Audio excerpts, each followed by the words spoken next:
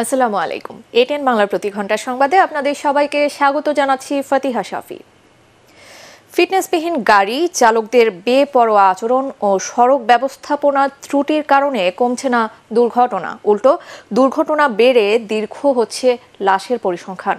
দুর্ঘটনা রোধে বিভিন্ন সংগঠন সোচ্চার হলেও বিআরটি এর উদাসীনতার কারণে নিরাপদ হচ্ছে না সড়ক মহাসড়ক। প্রতি বছর ঘটা করে নিরাপদ সড়ক দিবস পালন করা হলেও উপেক্ষিত থেকে যাচ্ছে জাতিসংঘ ঘোষিত সুপারিশগুলো জানিয়ে ক্ষোভ জানান বিশেষজ্ঞরা।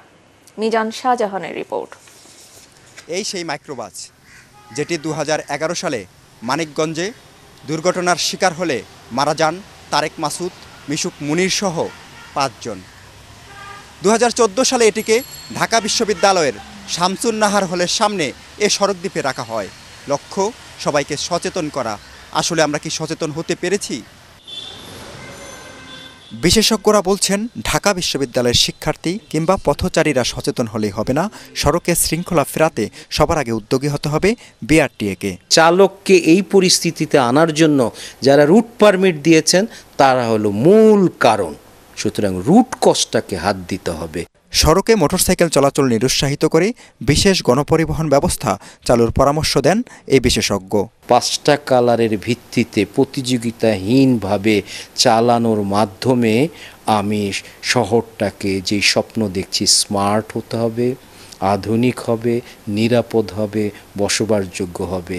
উনিশশো তিরানব্বই সালের বাইশ অক্টোবর বান্দরবান যাওয়ার পথে চট্টগ্রামের পটিয়ায় সড়ক দুর্ঘটনায় নিহত হন জাহানারা কাঞ্চন। স্ত্রীকে হারানোর শোককে শক্তিতে রূপান্তর করে তিন দশক ধরে নিরাপদ সড়কের দাবিতে আন্দোলন করছেন চিত্রনায়ক ইলিয়াস কাঞ্চন। আনফিট গাড়ি রাস্তা রাখলে সড়ক দুর্ঘটনা কমানো যাবে না, আনফিট গাড়ি যেন না চলে সেই দিকে যার দায়িত্ব। আমরা যারা এই সমস্ত গাড়িগুলিতে উঠি, আমাদেরও দায়িত্ব।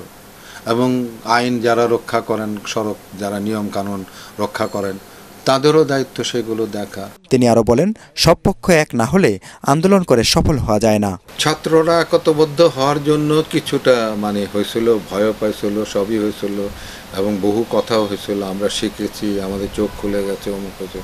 কিন্তু আবার যখন ওরা ঘরে ফিরে গেছে তখন তারা চিন্তা করছে যে এখন আবার একতাবদ্ধ। এরা তো রাজনীতির দল না।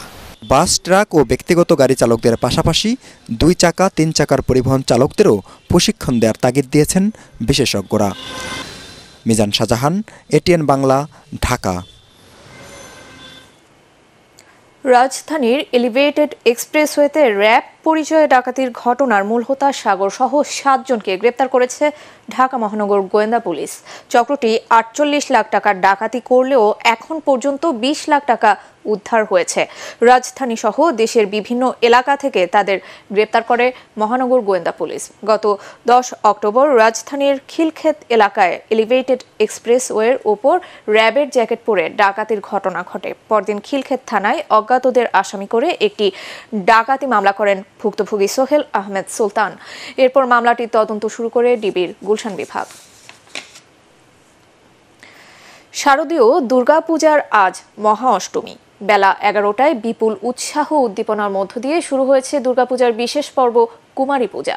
রাজধানীর রামকৃষ্ণ মিশন সহ ঢাকার বিভিন্ন স্থান ও সারা দেশে আজ পূজা মণ্ডপগুলোতে কুমারী পূজা অনুষ্ঠিত হচ্ছে। দুর্গোৎসবের তৃতীয় দিন পূজা মণ্ডপগুলোতে যথাযোগ্য ধর্মীয় ভাব গাম্ভীর্যে পূজা অর্চনা করছেন সনাতন ধর্মাবলম্বীরা। পূজার চার দিনের মধ্যে মহা অষ্টমীর অঞ্জলি ও কুমারী পূজা সবচেয়ে বেশি তাৎপর্যপূর্ণ। এদিন কুমারী রূপে দেবী দুর্গার আরাধনা করেন পুণ্যার্থীরা। ষোলোটি উপকরণ দিয়ে মহাষ্টমী পূজার আনুষ্ঠানিকতা শুরু হয়েছে। কুমারী পূজা শেষে ভক্তরা মহাষ্টমীর পুষ্পাঞ্জলি দেবেন।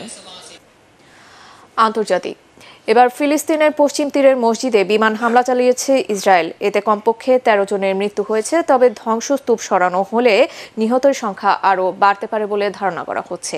এ নিয়ে ইসরায়েলি আগ্রাসনে পশ্চিম তীরে নিহত হলেন অন্তত ছিয়াশি জন। বিমান হামলার কথা স্বীকার করে ইসরায়েলি সামরিক বাহিনী দাবি করেন, মসজিদটি ফিলিস্তিনের সশস্ত্র গোষ্ঠী জেনিন ব্রিগেডের গোপন আস্তানা। এর নিচে তাদের গোপন সুড়ঙ্গ ও অস্ত্র গুদাম রয়েছে। এমন সন্দেহে এই হামলা চালানো হয়েছে। এদিকে সাত অক্টোবর থেকে শুরু করা ইসরায়েলি হামলায় গাজায় চার হাজার তিনশো পঁচাশি জনের বেশি মানুষ মারা গেছে। অপরদিকে হামাসের হামলায় মারা গেছে এক হাজার চারশোরও বেশি ইসরায়েলি। খেলার খবর। ক্রিস্টিয়ানো রোনালদোর গোলে সৌদি লিগে ডামাজকে দুই এক গোলে হারিয়েছে আল নাসর। অন্যদিকে যুক্তরাষ্ট্রের সকার লিগের শেষ ম্যাচে লিওনেল মেসিও জেতাতে পারেননি ইন্টার মায়ামিকে। ইউরোপিয়ান ক্লাব ফুটবলে জয় পেয়েছে Manchester City, Manchester United. Draw করেছে রিয়াল মাদ্রিদ। পয়েন্ট ভাগাভাগি করেছে চেলসি, আর্সেনালও। বিশ্ব ফুটবলের খবর নিয়ে এস এম আশাফের রিপোর্ট। বয়স একটি সংখ্যা মাত্র।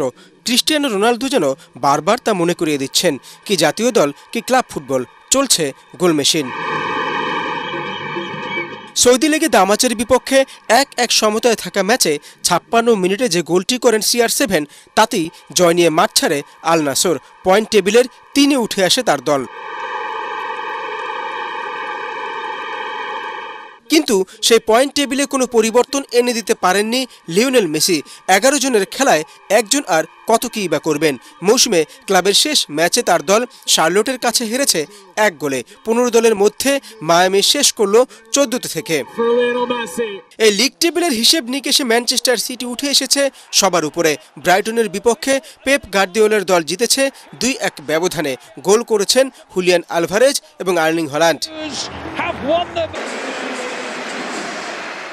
স্বস্তির জয় পেয়েছে ম্যানচেস্টার ইউনাইটেডও। শেফিল্ড ইউনাইটেডের বিপক্ষে এক এক সমতায় থাকা ম্যাচে দিয়োগো দালতের গোলে জয় নিয়ে মাঠ ছাড়ে ম্যানচেস্টার ইউনাইটেড। কিন্তু সেই উচ্ছ্বাস নিয়ে বাড়ি ফিরতে পারেনি চেলসি আর্সেনাল। যদিও আটচল্লিশ মিনিটে দুই গোলে এগিয়ে যায় ব্লুরা তবে ডিকলান রিস আর ট্রসার্ডের গোলে পরাজয় এড়ায় গানাররা। একইভাবে স্প্যানিশ লিগে পিছিয়ে পড়েও সেভিয়ার বিপক্ষে পয়েন্ট নিয়ে নেয় রিয়াল মাদ্রিদ। দানি কারভাল মান বাঁচান কার্লো আনচেলুত্তের। তাতে পয়েন্ট টেবিলের শীর্ষেই থাকল লাভলাঙ্কুরা। S M Ashraf ATN Bangla. এবার থাকছে ইস্পাহানি শেয়ার বাজার সংবাদ।